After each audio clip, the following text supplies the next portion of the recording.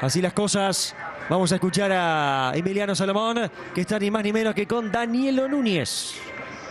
Bueno, Danielo, lo viviste intensamente como es de costumbre. ¿Y el nivel de satisfacción después de los 90 minutos, más allá de los penales?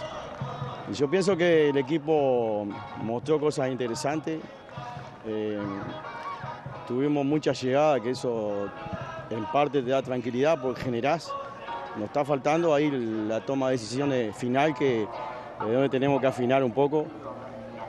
Y está por ahí, o sea que esto no tiene mucho misterio. Además veo que el equipo viene potenciándose físicamente, el devenir de los partidos amistosos ha ayudado también a eso.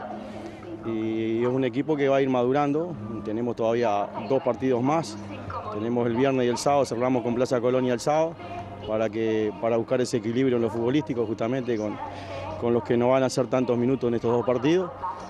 Pero en totalidad, en la totalidad, o sea, en la generalidad yo pienso que, venimos por el buen camino. ¿Te sentís cómodo con un plantel tan amplio como para discernir y elegir un once titular para arrancar nada más y nada menos con, con Peñarol en la primera fecha? Sí, es, un plantel amplio, pero es bueno porque a veces los entrenadores nos quejamos que tenemos limitaciones en, los planteles y que, y que no tenemos recambio.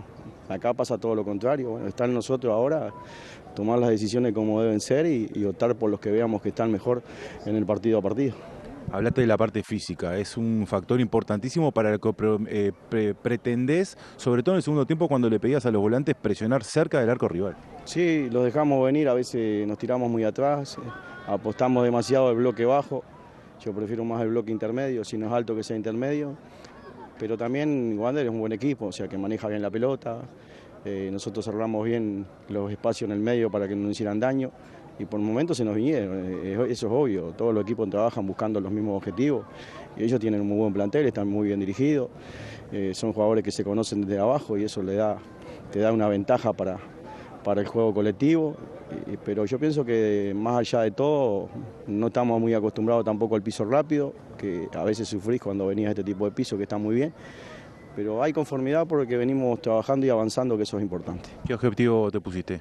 Y vamos a, apuntar a la mitad del campeonato y ahí nos vamos a jugar a muerte. Gracias, Danielo. Gracias a usted. Muy bien, gracias Emiliano. Allí el testimonio de Danielo Núñez, el técnico ganador en la tanda de penales.